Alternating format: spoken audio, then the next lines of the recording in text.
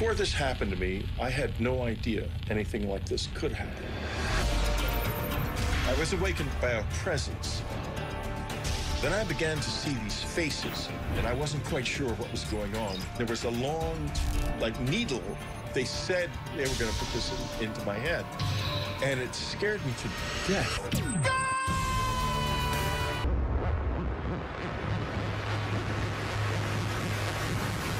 They inserted something into me. I blacked out. Stop it, please, stop it. I had a close encounter of the third kind, for sake.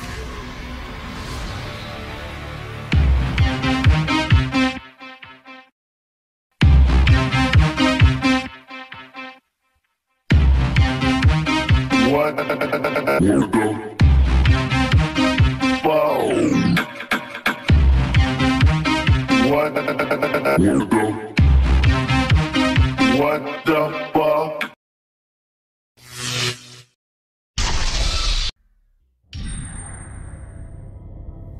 Before the fall of 1985, I had no opinion about UFOs or alien abductions or anything like that. I probably would have scoffed, actually, at anyone said they'd been abducted by aliens.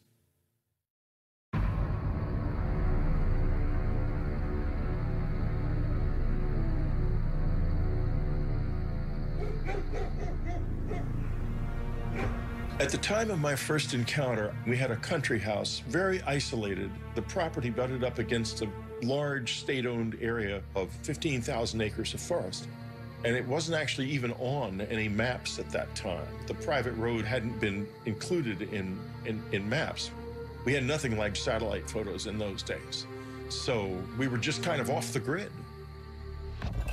It's great, honey. I love it. Can I? Yes. We had enjoyed a lovely Christmas at our cabin. We'd had a wonderful time. Hey, uh, the weather report says it's gonna snow tomorrow. Hooray! just as traditionally as you can. And it was just a lovely time. Sure.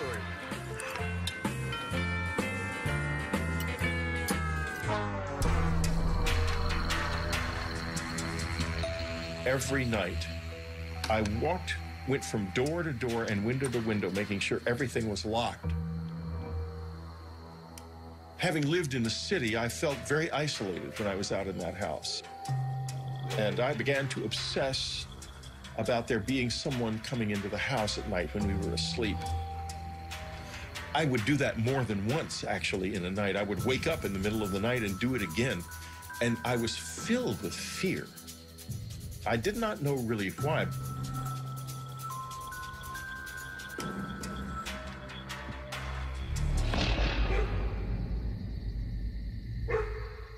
There was absolutely nothing suggesting anything unusual. But on some level, I knew damn well something was wrong.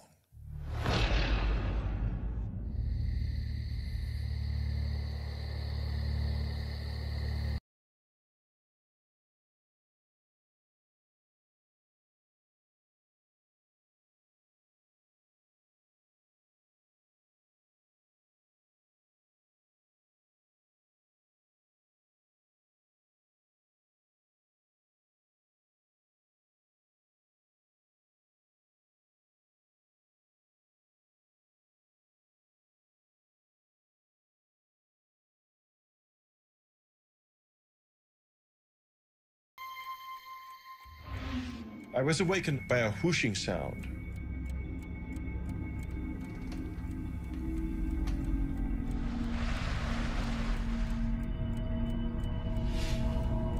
And I heard it. I sat up. Maybe it crossed my mind that it might be the dishwasher. I'd had an alarm system installed in the house, so I was confident that no one could get in.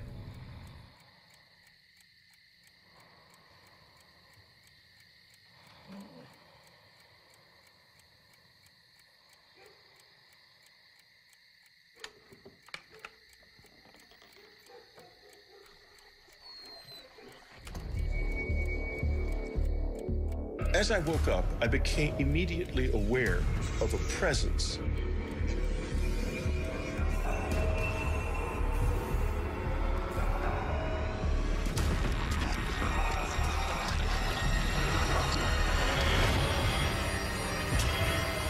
Before I could do or say a thing,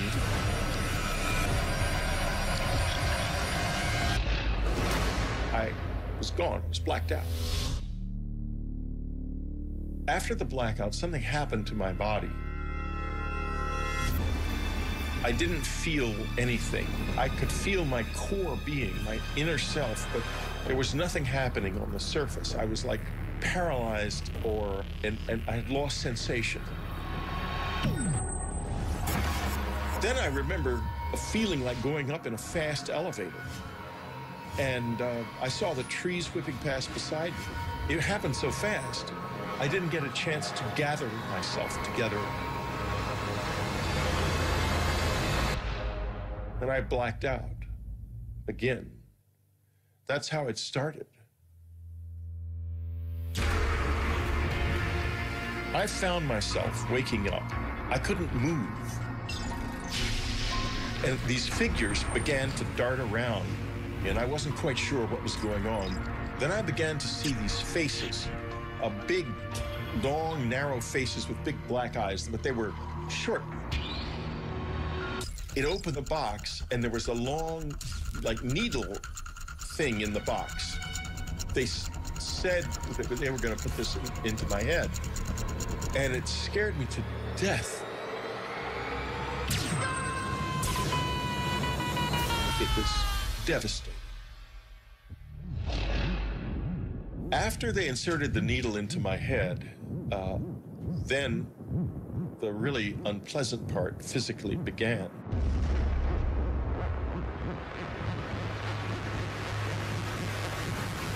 They inserted something into me. I blacked out.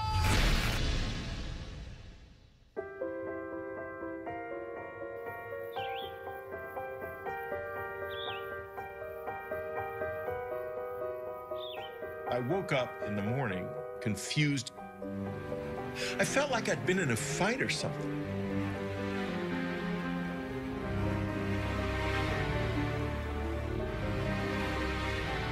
I thought, this can't be true.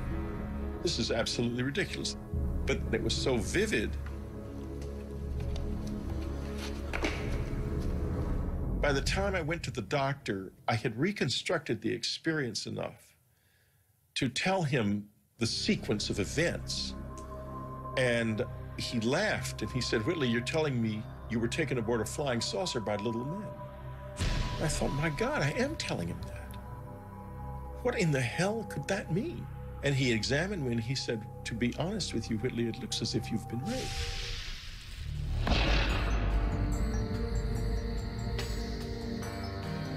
In the weeks following this experience, I was very unstrung.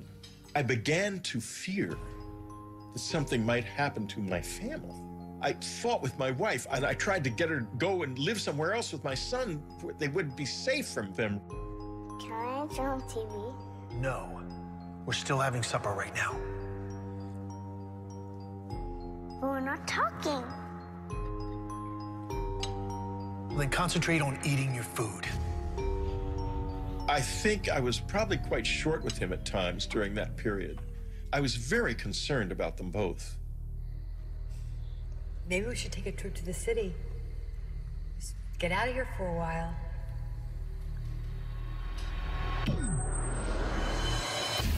At first, when the memories began to return, I just couldn't believe them.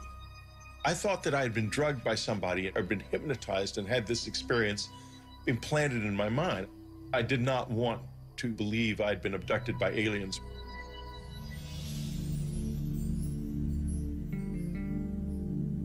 I also had done some research by then and found out that there was a lot of UFO activity in the area.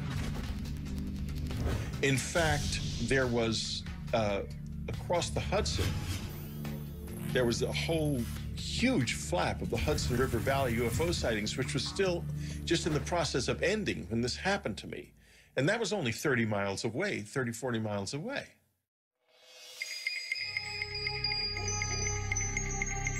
My brother had given me for Christmas a book called Science and the UFOs.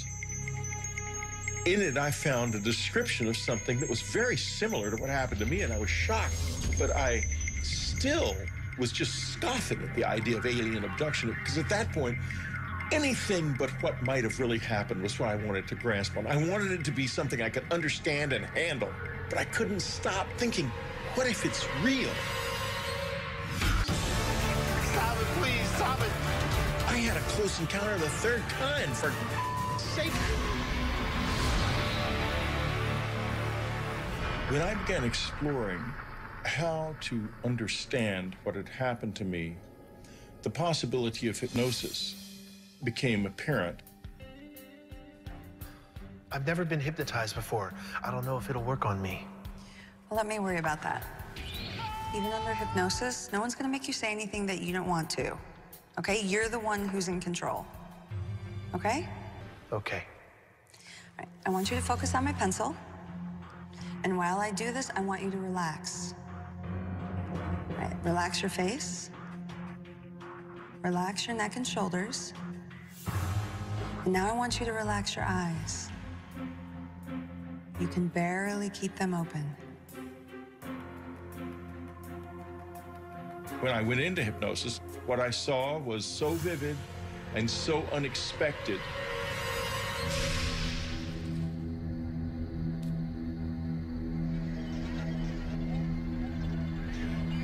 Something went past the window.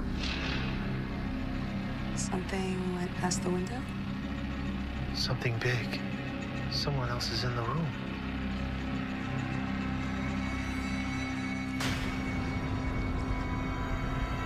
Who the hell is that?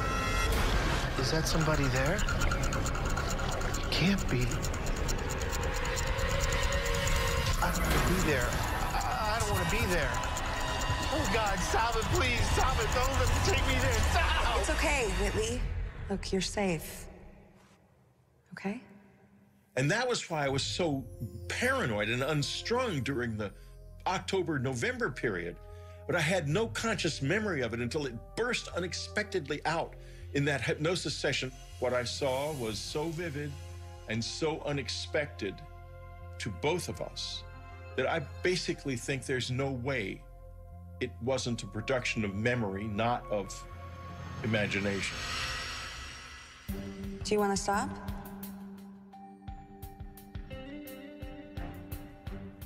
No. I was obsessed with continuing because I wanted answers badly. I had a close encounter of the third kind. For sake, I can't just ignore this. Now it's the night of October 4th. You've just woken up. And tell me what you see. Under hypnosis, I saw one of these alien figures standing in my bedroom. It touched my head with a wand that had an electric fizzle to it. And it flashed terrifying visions. The first one I remember is a vision of my son. Something is happening to him. And I, I had the impression he was dying or being kidnapped or something uh, at the time, and it was very frightening. The second vision was a vision of my father dying. He died previously of a heart attack. He was already dead. And the sense of sadness I felt was profound. I loved him deeply. There was a third vision involved, an apocalyptic vision, the end of the world and of everything being destroyed, either in a nuclear war or a natural catastrophe of some kind that looked like a war. Uh, I remember the sense of despair and helplessness that it brought me.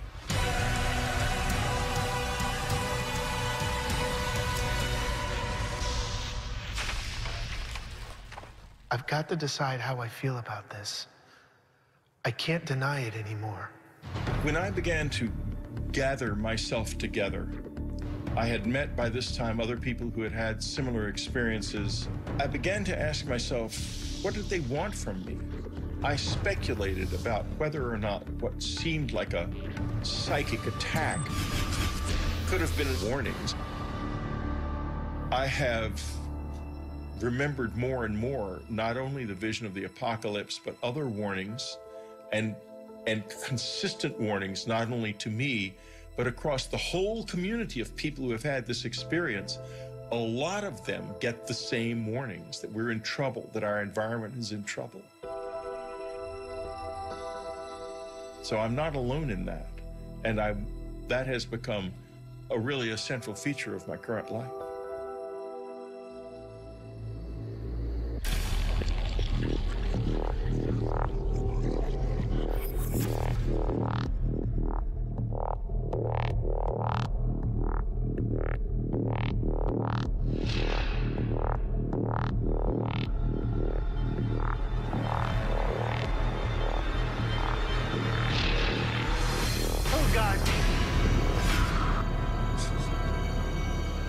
Sensation I felt when I tried to move on that night was like I was being impeded by something that really slowed you down, like a thick tar or something. When they are there, you have a feeling that is almost impossible to describe. I was terrified, but I sort of forced a grin onto my face and tried to smile. I couldn't smile very well. I wanted to try to show them that I was not dangerous, that I was something that that I wanted to know more. And there was a change then. After it became clear to them that I was trying to engage with them, they began to respond in various ways. They were trying to build a bridge, I think. I think that was the first moment when, when, when there was any kind of real exchange. I wouldn't say that, oh, this is definitely aliens. I would say that it was real and that we don't know what it was. That, that I am quite certain of.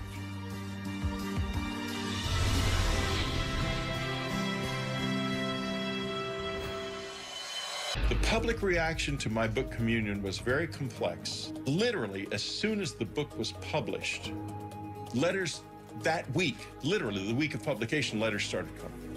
You got more letters.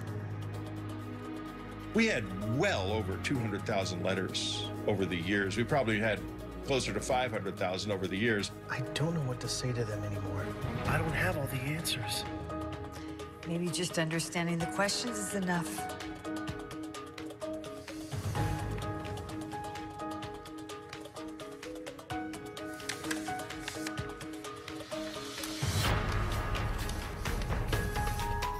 After I began to read them, I realized there's something happening on planet Earth that we do not acknowledge.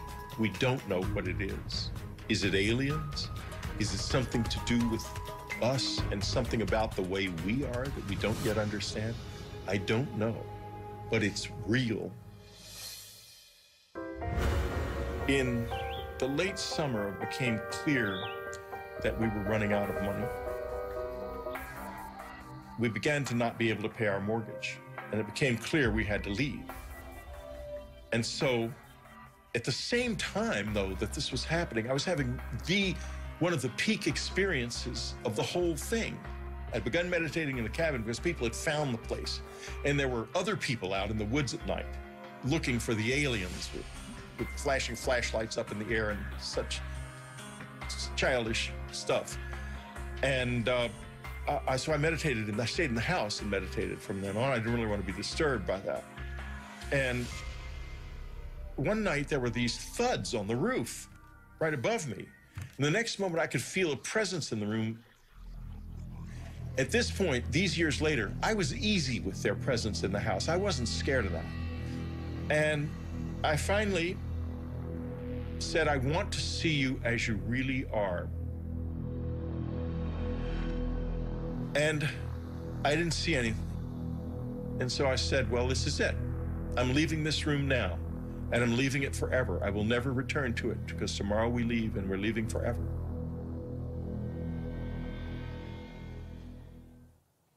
And I left the room. I went to bed. I lay in the bed, still hoping something would happen. Suddenly, I saw a light light up in the front yard. It was a bright, beautiful white light shining on the grass like moonlight, but 10 times brighter. I got up and looked out the window, and this light with rays coming out of it, and the rays penetrated my body, some of them, and I could like taste his presence in the rays. It was the most extraordinarily beautiful experience I've ever had.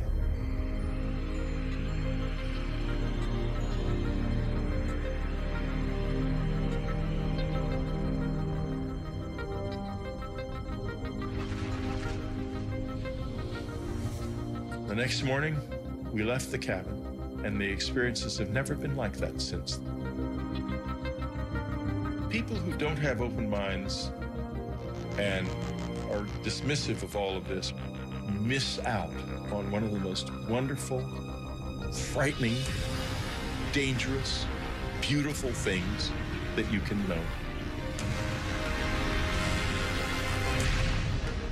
I did not ask for this. I did not know about it. I did not expect it. I did not want it, that's for sure. But it burst into my life without warning, and it's never left me since.